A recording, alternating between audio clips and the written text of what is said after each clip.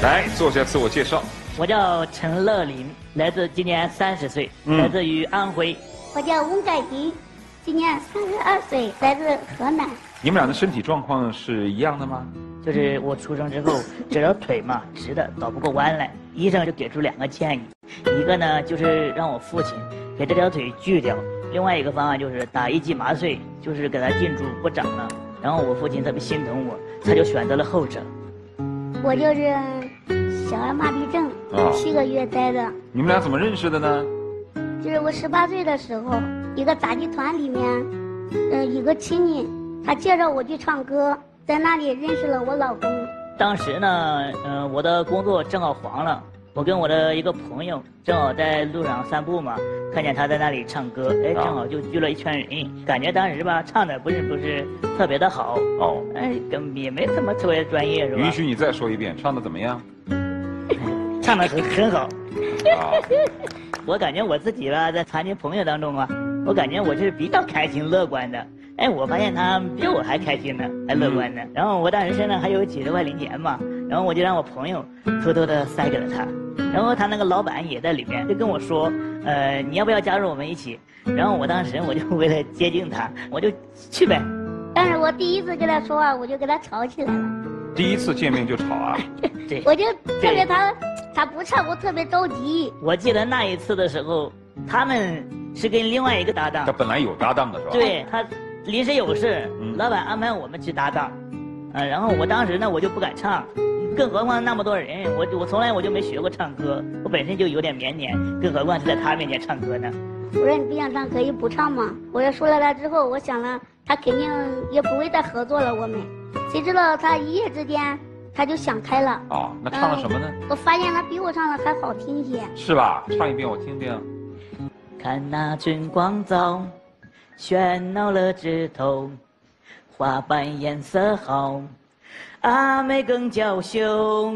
看那春水流，流过小桥头，风吹歌声飘，飘过吊脚楼。这首歌曲改编的很好。啊，那是第一次你们的合作的处女秀，对，是吧？对后来怎么就好上了呢？就是那一次吧，搭档，老板觉得还行，嗯然，后就让我俩搭档。牵过手。对，他说他就是累了，想要睡一会儿，哎，然后我就跟他说，你就睡一会儿呗，然后我唱，我说要不我就你就拉着我的手吧，这样唱歌我就不跑调了。哦，当时我就拒绝他了。那签了还是没签？签了。后来我以为他睡着了，满满的都是套路。呃然然后我就给他他签了。在亲手拉着我的手，我就感觉这世上有人拉着我的手，我想的是搭档嘛，不好意思全过来，哦我就是就是这样。搭档拉你手，你以后跟别人搭档那个小男生牵过你的手吗？原来那个搭档没有，啊，那说明你还是喜欢他的嘛。啊，对，然后我就后来差不多就明白，他就是说两个人都是没有捅破那层纸。表白了。因为到年底了嘛，啊快回家了。然后呢，我们就路过一个就是那种打戒指的，当时我就跟他说，我想送你个礼物。嗯其实呢，我就刻了个情侣戒指，嗯然后刻了个他的名字，刻了个我的名字。好，然后呢，我就给他戴上。他说小姨，咱们结婚嘛。我我这样考虑了一会儿，我就说，你能照顾我几年呀？三年还是五年？总有一天你会烦的，或者你会给我立了。我说你再考虑考虑，我也再考虑考虑。我回家之后呢，我把那个戒指给摘掉了，我也不敢给我爸妈看，我也任何人都不敢说，我藏在袖筒里面去了。我就这家好长时间了，他也没给我打个电话，所以我心里我就想着肯定他遇到好的了，或者他爸妈不同意了。我说你可能跟我说一句啊，我的心里都特别的着急，也着急，都想把那个戒指给给丢掉，但是又不舍得丢，所以我出来之后就把他那个戒指又拿了回来。我因为我家嘛是山村里面，然后我家又是独门独户的，其实说起来可能大家都不太相信，因为当时呢就是回家了之后，我买的就是一个那种翻盖的，是按按键的那种二手手机，然后其实我给他发了很多短信，给他打电话，基基本上就是打不通，一直就是让他这么误会下去了。就像嗯，年跟上老板就是初期的时候，我们人都聚齐，都该出去了，也没看到他，肯定是散了。后来没过几天呢，老板就说小陈要来了。当时听到这个话的时候，有点激动，但是呢，小陈也特别生气，他来了我也不跟他好了，我也不理他了。他确实，足足一个月，不搭理我。我媳妇手吧，就是特别的脏，然后我就赶紧端一盆水，我就说你赶紧洗洗手，你手脏。他给我端过来吧，我看着确实手也就比较脏，我就洗了，洗了我就洗了脸，洗好了他就问我几句话，他说你冷不冷啊？我说不冷，不知道突然就说这个不知道话了，怎么的，他就突突然然就说出来了。所以他说过话之后，他就立马问我，他说你干嘛不理我呀？我就说，那我回家的时候你干嘛又不理我呀？不给我发信息，也不打电话，咋回事啊？他就给我解释手机的问题，解释了了，他就跟我说，我来就是为了你来的，你要是再不理我，我都准备走了。我就说，那你走啊。所以他就没说了，俺俩就没追究了。然后我俩就又那样就好起来了。后来就是我老公做了一件对我感动的事，带着我上我朋友家去玩。我朋友家在乡下，下午的时候，我老公和他朋友拿音箱，到晚上了九点多十点钟了还没回来，他给我打个电话，他说下雨了，真的下的大，等停了我就回去。就打完这个电话，我说好的。到了十二点了，他还没回来，我就给他打个电话，我就说，你现在雨越下越大，你就别回来了。就在那个找个地方住吧。我说我又不困，我跟我的朋友可以聊天。他本身白天就坐一天了，然后我媳妇她这个腰，他是更做不了那么长时间的，然后我就必须回去，外面就下了大雨，就是说呢，然后就是乡下那个路特别泥泞，然后就是四个轮子全部都陷进去了，然后我朋友开车，然后我就下去走一步，然后我就拿个石头给他垫一步，然后就走一下，然后我就拿个石头给他垫一下，然后慢慢的、慢慢的摸着，差不多两点多到三点了吧，我就在外面敲门，开门一看，他浑身都是泥，也淋湿了。我说你这怎么回事？他说我不放心你作业。他说，他就然后我就想了，这个男人值得我托付终生，所以我就愿意嫁给了他。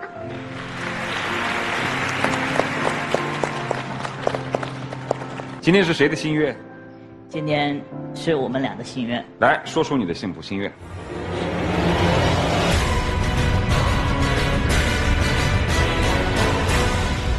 我的幸福心愿是，开一家便利店，把孩子带在身边抚养。好，来，谢谢。都有孩子了，已经六岁了，一个，一个一个男孩儿女孩儿女孩。你这种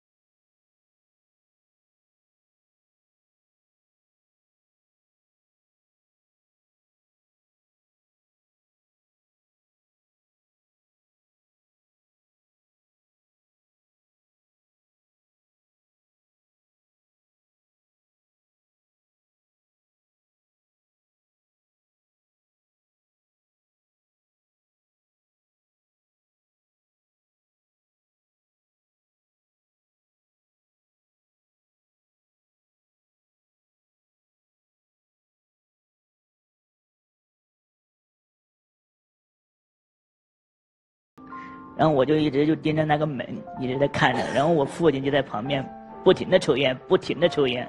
突然医生推开门出来了，大出血保大保小，我就坚决的跟他说，保大，一定保大。然后大概过了差不多有两个小时吧，孩子出来了。孩子出来之后，我媳妇一直也不出来，左等也不出来，右等也不出来，我就在那哭，我就跟我妈说，我说小云如果要是有什么意外，我 我也我也不活了。后来我就听到他一直叫我，一直叫我。那时候是医生推开门，他就说：“谁是吴凯银的家属进来？”然后我就赶紧跑，我就跑进去，然后他就是那个麻醉劲还没过，然后我就感觉到他的嘴在动，然后我就一直的去叫他，一直的去叫他：“小英，你挺住，你别睡觉，你挺住。”然后那个车子就是单车跑得特别的快，然后就推进重症监护室去。差不多两天给我们一次病危通知书，我在那里足足等了一个星期，不敢睡，生怕一合眼一闭眼我媳妇就没了。然后我睁开眼了，看见我老公抱着孩子，在我身边，我在看到孩子，我在想了，我做的一切就值了。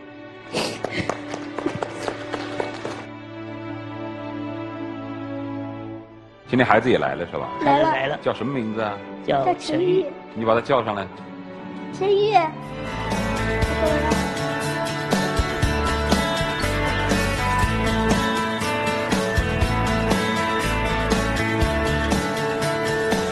你长得像谁呀？爸爸、长得像爸爸。哎，他长得挺漂亮哎。你现在跟谁在一起生活啊？奶奶，不是跟爸爸妈妈在一起生活对呀想爸爸妈妈吗？想跟他们一起生活吗？想，奶奶同意吗？我奶奶同意哦，同意啊。你你会唱儿歌之类的吗？会啊。那你唱首儿歌我听听。太阳当空照，花儿对我笑，小鸟说叨叨叨，你为什么背着小书包？爱学习，爱劳动，长大要为祖国一功劳。你唱的比你爸妈唱的还是好一点。奶奶是在哪儿生活？在安徽呢，我呃我俩在衡水唱歌挣钱。所以你们要开一家便利店，对对对卖个烟酒，卖个零食之类的，然后就可以把孩子接过来。对，啊，我们来听听他们。